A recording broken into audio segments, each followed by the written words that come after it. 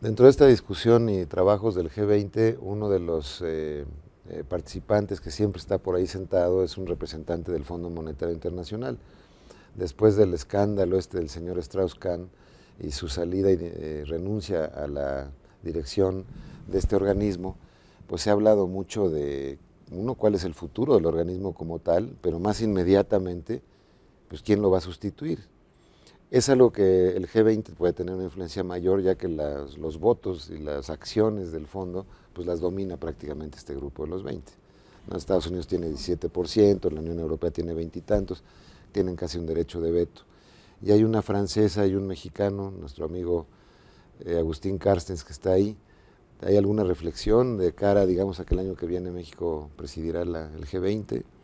Bueno, como realmente uno de los planteamientos fundamentales de México durante las últimas participaciones, o desde la primera participación en, el G20 en Washington, eh, ha sido que necesitamos que haya una voz mucho más eh, fuerte y más representativa de los países emergentes y en desarrollo en los organismos financieros internacionales, en particular en el Fondo Monetario Internacional. Y en ese sentido, eh, creo que la coyuntura y, el desafortunado incidente, desliz como lo queramos llamar, del señor Strauss-Kahn, adelantó. Aventura. Este, adelantó eh, en un momento dado, digamos que error garrafal, este, adelantó un poco esta coyuntura en, que probablemente se hubiera dado a finales del, año porque le hubiera dejado. Sí, la discusión del tema personal no tiene que ver con institucional, pero ya está. Que le hubiera probablemente dejado la, dirección del Fondo Monetario Internacional para en un momento dado eh, ser, candidato a la presidencia o precandidato a la, a la presidencia francesa. Entonces, pero si México y en general los países emergentes hemos planteado que no es posible que eh, instituciones o, acuerdos que se adoptaron en 1945, cuando el mundo tenía una configuración especial, sigan vigentes, o esos acuerdos de caballeros de que un año, esta vez tiene que ser, este organismo tiene que ser para el europeo y el, otro norteamericano. Entonces, no, nosotros queremos el mejor, la mejor persona y mejor preparada, eh, hombre, mujer y de cualquier país para el puesto. El Fondo Monetario es crucial, el fortalecimiento del Fondo Monetario es muy, muy importante y México en ese sentido lo único que ha sido es congruente con lo que hemos dicho desde hace muchos años y en particular en el G20. Y Esto lo hice a partir, a propósito del planteamiento que se ha hecho para que... Entonces se presentó un magnífico candidato este, que independientemente de su nacionalidad, de, eh, de su región, él eh, conoce el Fondo Monetario Internacional, ya fue subdirector. Sí, sí fue, fue el subdirector eh, por varios años. Probablemente la señora Lagarde igual, pero en este caso, en igualdad de circunstancias, creemos nosotros que debe de dejarse de imponer esa regla de que tiene que ser un europeo. Ahora ya los brasileños, nuestros colegas regionales, se opusieron a que fuese Agustín Carstens, ¿no? Como que no ayuda mucho que en, la región es, como si nosotros nos pronunciáramos sobre un brasileño también, pues ¿por qué no hablamos mejor con ellos primero y luego hablar con los demás? para los europeos que tienen la Unión Europea es en un momento dado más fácil ponerse de acuerdo tienen reglas y principios desde hace muchos años.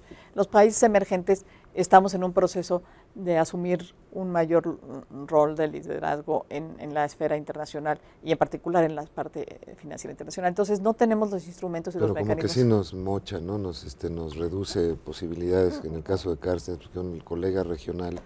Bueno, yo lo que creo es que... Si lo dicen los franceses, eh, lo entiende uno, pero en el caso de Brasil...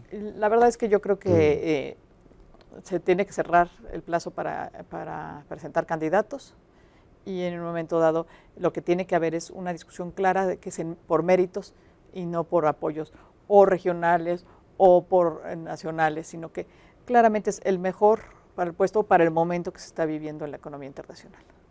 Y, nosotros estamos convencidos que, que el doctor Carstens lo es y probablemente haya otros de otros países que también lo sean en el caso de México estamos defendiendo y presentando al que nosotros consideramos el, el mejor. Sí, hay un tema que, quizá eh, se incline más todavía por la señora Lagarde, que es el hecho de que algunas de las crisis más notorias de los últimos años se han dado precisamente en el espacio europeo.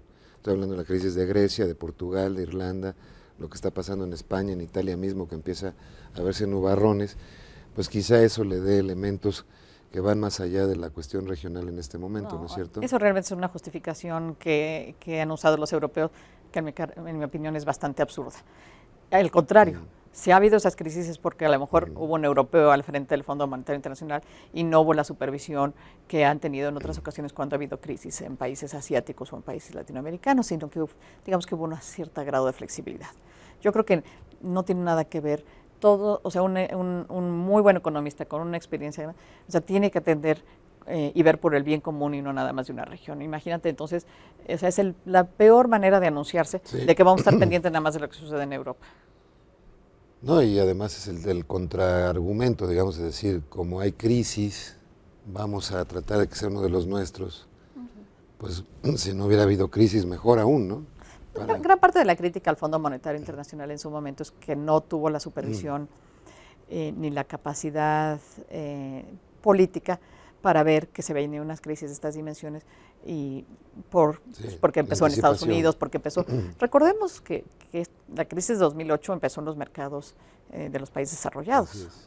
Entonces, yo creo que digo, ese realmente no es un argumento, ¿no? es un argumento este, muy pues yo quisiera, Lourdes, si tú me permites, en, adelante y sobre todo de aquí a, la fecha, cuando se, conozca además la fecha de la reunión del G20 el año que viene, estar muy cerca de, ti para que nos hagas el favor de acompañarnos eh, y monitorear este tipo de trabajos, perdón, y quizá pues vernos si te parece cada tres meses, cada cuatro meses, para informar a la, a la opinión pública mexicana pues cómo van encaminándose estos trabajos, qué, tipo de orientación está dando México.